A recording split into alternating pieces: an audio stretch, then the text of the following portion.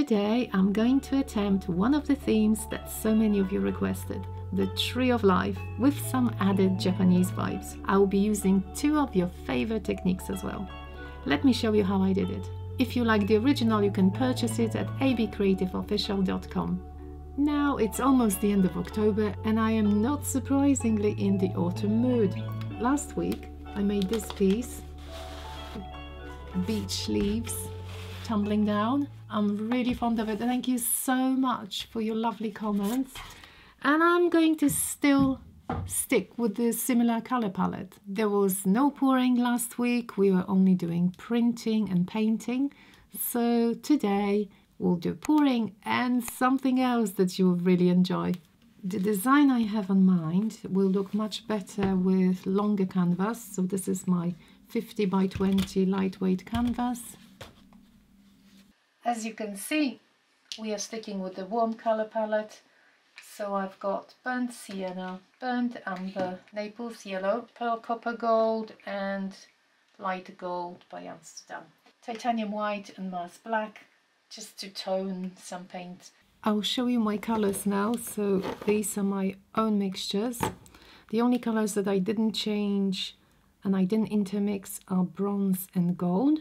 Even here I added a little bit of white to the umber. And here we've got a little bit of brown and black and lots of white. I wanted some kind of a grayish color. I'm going to show you the consistency now. So you see it's running off the stick really smoothly and we've got this little build-up. Well, I think this one is a bit too thick. So I'm going to spray some water in. This is just pure water. And it's really important that all the paints have the same consistency. So what's in it? We've got one part of paint to two parts of Floetrol and as you've seen, some water. When you see these, you know what's going to happen, unless you're new to my channel. Sometimes I get messages from people who follow me from the very beginning on my channel. I am so curious. Would you mind writing in the comments how long you've been following me? I'll be really, really grateful. Oh, by the way, if you're wondering, these are containers from Plasticine. Ta-da!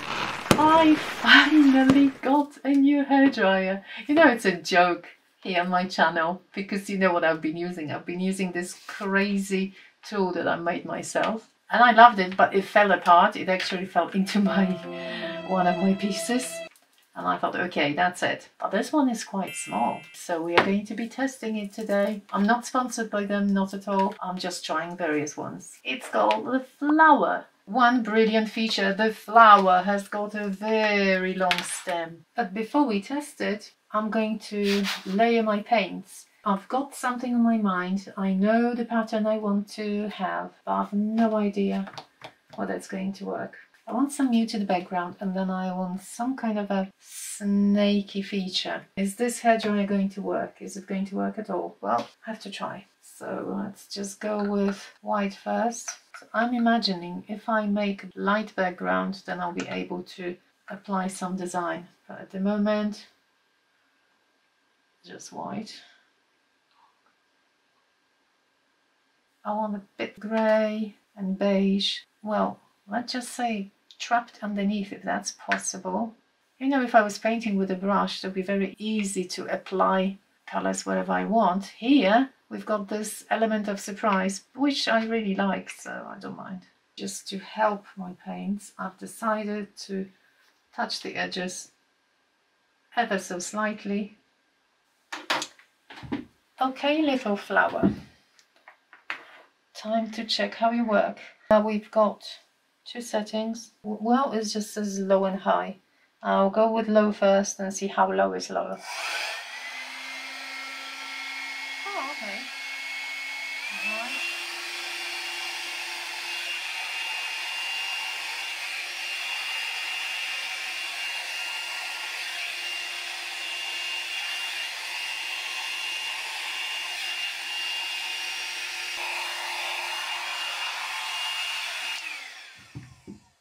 behaved pretty well. However, I think I want a bit lighter.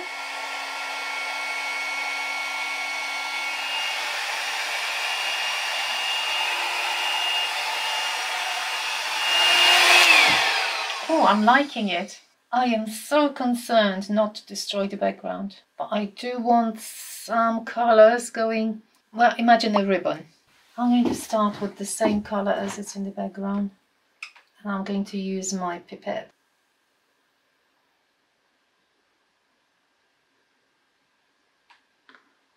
Oh, I don't think I'll be able to blow on it, will I? But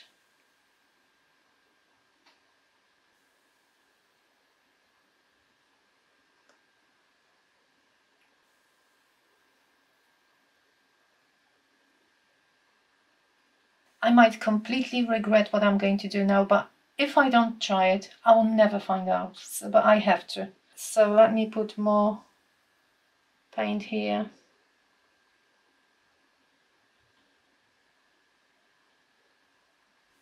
And this.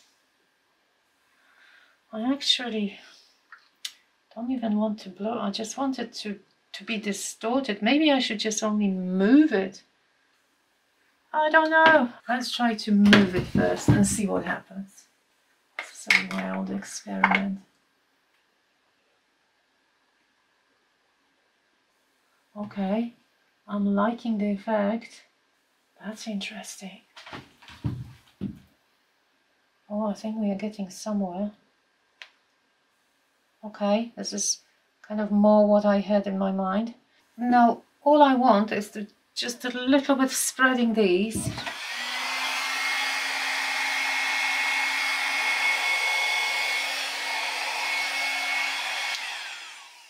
okay I must say I am very happy that's the closest to what I was imagining and I'm glad that I didn't use the hairdryer on top because I would have destroyed the background wouldn't I so we've got this and something is coming here now we are going to work with my new glue gun. I tried it once before and I made this silver tree. That's the one. If you haven't watched it, it was so much fun. This piece, so different. After this one, I had some requests for golden tree with the glue gun. So that's what I'm going to do. And we'll make a landscape with a golden tree of life. How about that? Now I also have two templates that I drew for the other one. I'm not sure. This one is probably too small. This one might be too big. I might adapt this one. So this is a silicone mat.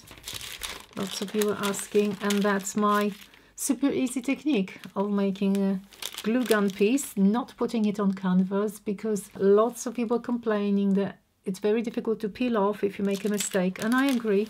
It's not the easiest thing. So I came up with this silicone mat and we'll make it here. And anytime you make a mistake, you just peel it off. It comes off like butter. It's so easy. I'm going to move the tree. I'm not going to say anything else. I'm just going to proceed and as I said, maybe slightly alter some branches.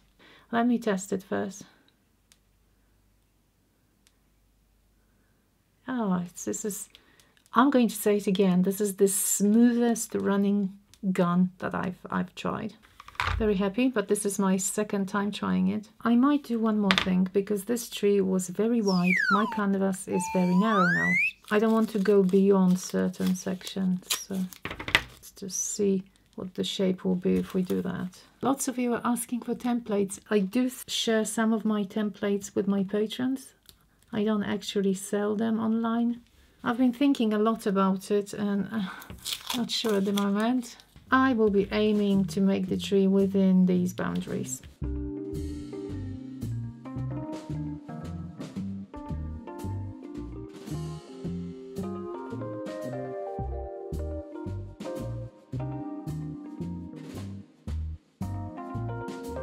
I'm really happy that lots of you started using glue gun to embellish your pieces. I've seen some amazing photos.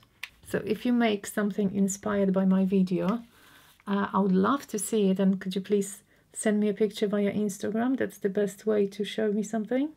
And also thank you very much if you're posting it on social media.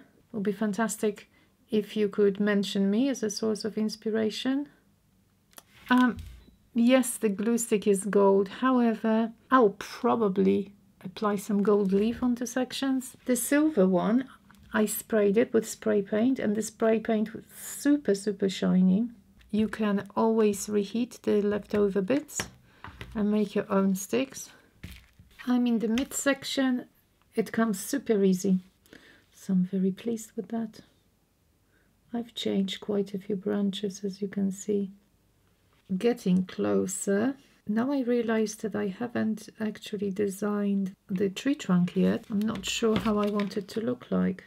But for the roots, I actually need to see how I want it incorporated within my background. So I need my background and I need it dry. It's completely dry. It's the third day today. It was a bit longer. The very next day it's usually dry once I use the hairdryer. However, this part was pretty thick, but you, you can't tell the difference. It is thicker and look at the gold.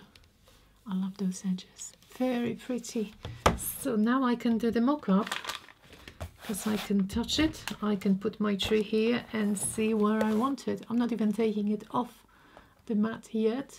I think it's going to be very interesting when part of the tree comes off. What do you think? One root will be coming this way. So something like that. That's a perfect place for the root. And there will be some going somewhere here as well. For me, this is a part of the rock and I want some clouds here. So I can basically probably try my glue gun directly on it.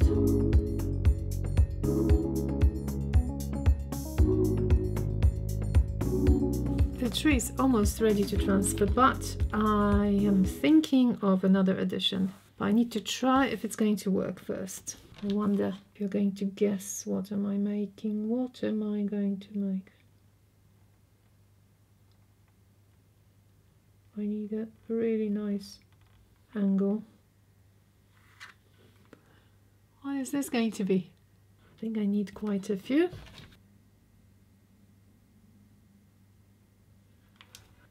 I'm so happy I can do such a small thing with this glue gun, honestly. I think I said it before, I am not advertising it.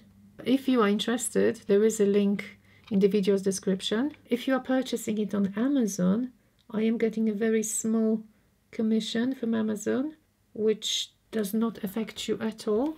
So thank you very much because that helps support the channel using my link. What type of birds do you think these are? Are they seagulls? One little fact about me, I grew up at the seaside so for me, seeing flying seagulls in the sky, it's a it's a normal thing. They're very simple, but I think they are pretty effective, don't you think so? Birds are made, the tree's finished.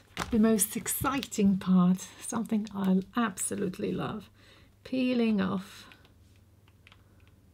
Well, I call it peeling off, you just lift it up. Can't be anything easier than that. Look. Unfortunately, I still haven't bought any spray adhesive that I would trust. I was looking online. I'm still not sure which one will be best, so I am going to use the glue that I usually use, the Diamond Glaze, because I know it won't come off. So now I can actually put it here. I like the fact that I can change some stuff a little bit once I'm gluing it. I did say I'm going to use gold leaf on the tree. It's kind of brownish. Yes, the glue stick, it says it's gold, but comparing to this, it's not. That will be my next job. I'm going to apply my gilding paste first. That's the one I'm using. Once I apply it, I'll wait. It says 15 minutes. It's nice that I don't have to worry about the background. That's another bonus, you know. Time for the birds. I doubt I'll need so many birds. Nevertheless, I've made so many they're so light. Easily flip over. Can you imagine that I made those tiny ones with this glue gun? Look at my nail and look at the bird. While waiting for the tree to dry, I am going to add a little bit of white here to create some clouds. I think I want them somewhere here. I might add clouds in layers because I want them quite translucent, let's just say translucent. I think I've waited long enough. I'm not going to apply the leaf onto this page because as you can see there's plenty of the sticky paste on the paper itself. I'm going to peel it off. Ah.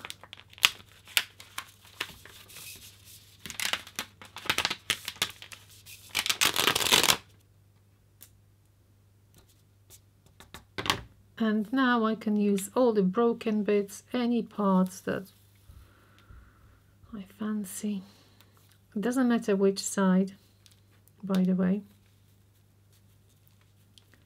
It'll take me a couple of minutes. I could put a huge sheet on but I do have leftovers that I want to get rid of. As you can see quite big chunks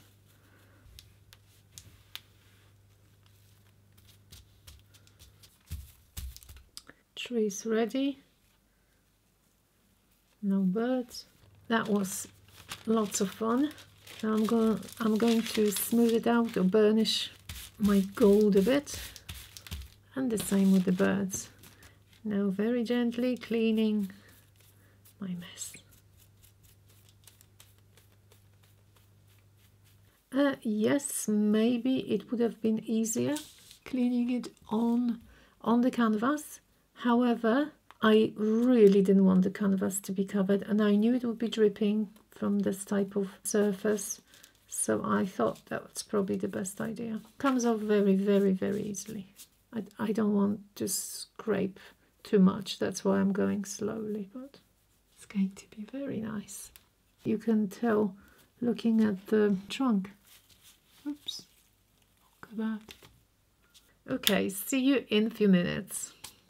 I'll try and add some more clouds. Still don't have the sun. we can still see the underneath. And perhaps while I'm waiting for this to dry, I will make the sun. And it's going to be somewhere here. This is going to be my sun. That's probably too big. Maybe this side. Let's just do this side. Okay, now I need the outside.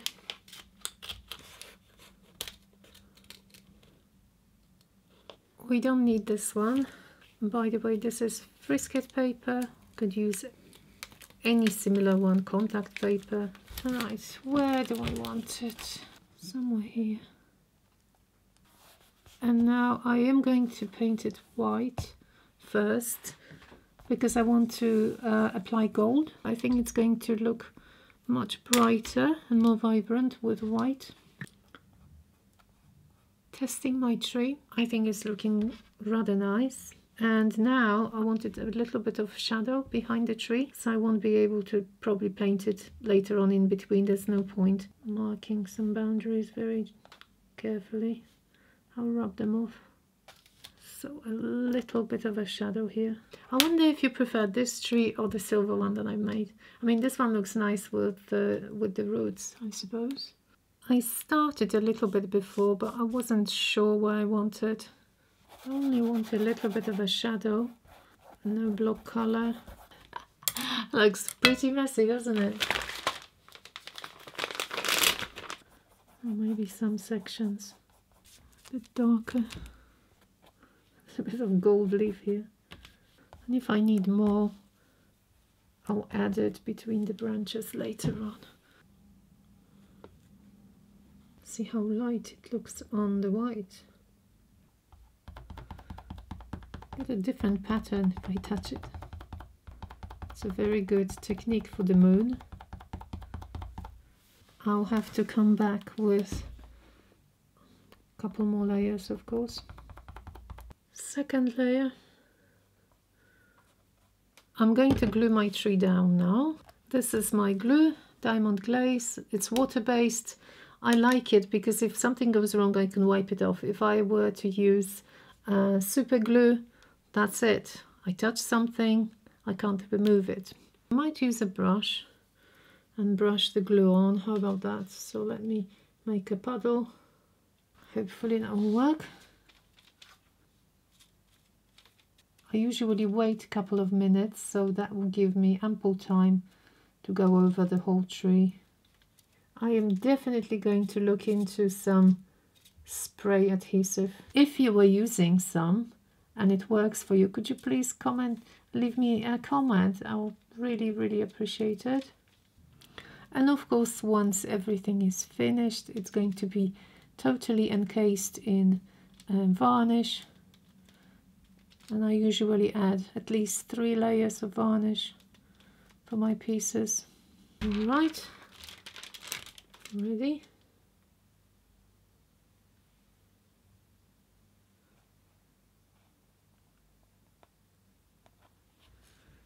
something like like this but I wanted this one higher okay going to hold it a minute and then do the edge separately. This will be too difficult to fold it over now. Before I attach the birds I need to finish the sun and the clouds that will be partially covering this the sun.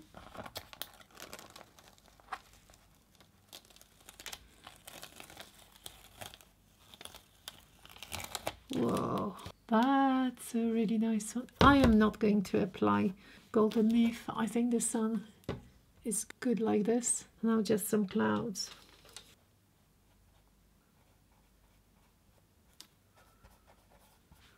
I'm going to choose how many birds now are going to fly. I've been shuffling the birds, but I do want one flying across the sun. So I'll glue them one by one now with the same glue, of course.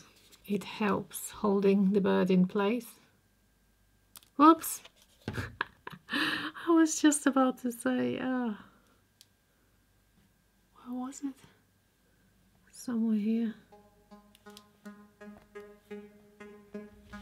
If you like the arrangement you make, I suggest taking a photo because I already forget how exactly I wanted it. Not that it really matters, they fly however they want.